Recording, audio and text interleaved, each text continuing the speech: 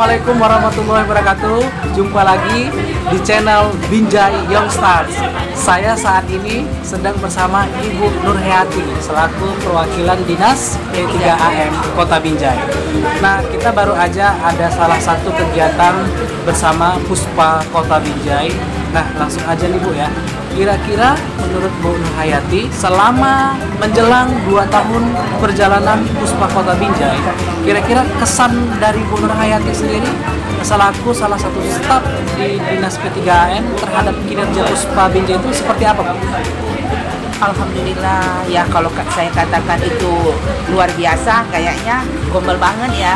Tapi memang itulah kenyataannya. Ya. karena saya bandingkan dengan seluruh puspa kabupaten kota. Hmm. yang lain yang mempunyai puspa sepertinya Binjai memang sangat aktif. Itu dapat uh, kita terima informasinya dari uh, Ibu P3AM uh, provinsi.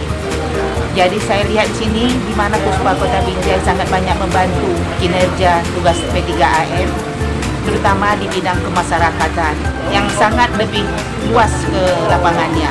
Jadi kami sangat bersyukur dan berterima kasih kali kepada Puspa.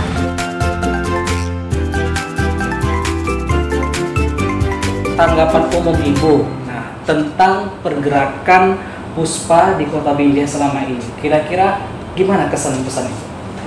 Pertama-tama eh, saya secara pribadi atas nama pemerintah Provinsi Sumatera Utara, Ya. Dinas Pemberdayaan Perempuan Perlindungan Anak mengucapkan terima kasih ternyata dalam kurun waktu lebih kurang satu tahun relawan Puspa Binji bahwa ternyata mm, eh, tidak ada kata lelah yang dilakukan oleh relawan-relawan tersebut terutama kepada Ananda Tati Ya.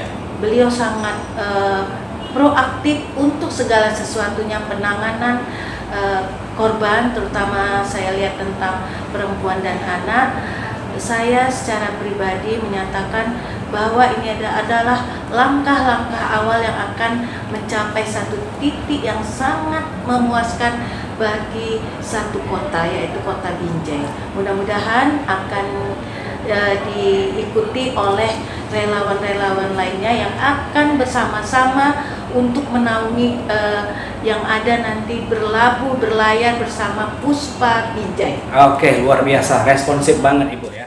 Oke, kira-kira Bu eh, selama ini eh, kerjasama atau peran serta P3AM eh, dengan kemitraannya ya dengan Puspa itu seperti apa saja Bu yang sudah dilakukan?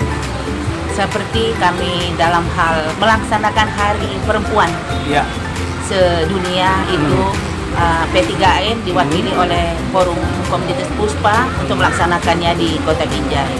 Tapi berhubung dengan sebenarnya ada uh, akan ada mitra pekerjaan lain, tapi berhubung berhubung adanya pandemi ini banyak kegiatan yang ke lapangan itu terhenti. Hmm, jadi seperti itu Bu ya.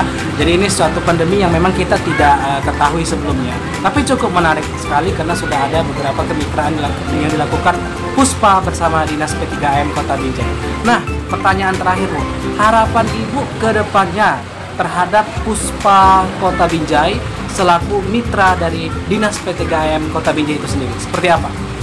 supaya Puspa itu uh, mendukung bukan saja P3AM, kalau bisa mendukung uh, instansi lainnya seperti para wisata, uh, dinas uh, catatan sipil, dinas sosial maupun instansi terkait yang berhubungan dengan pemberdayaan perempuan.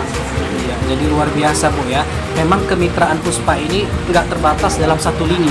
Nah, karena kita Puspa ini juga bergerak dalam kesejahteraan keluarga, sosial dan Khususnya khusus perempuan dan anak. perempuan dan anak. Iya, jadi perempuan dan anak itu juga termasuk pemberdayaan pemberdayaan peningkatan kualitas hidup. Nah, salah satunya dalam sektor ekonomi. Nah, luar biasa, Ibu terima kasih nah, juga selama ini telah bermitra dengan kami Puspa Kota Binjai. Nah, sehingga sudah ada beberapa kegiatan yang kita lakukan di Kota Binjai tercinta ini khususnya. Terima kasih Ibu Nurhayati.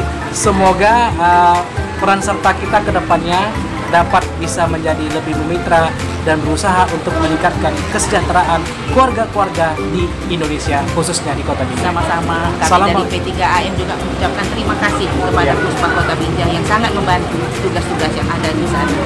Assalamualaikum warahmatullahi wabarakatuh. Waalaikumsalam warahmatullahi wabarakatuh.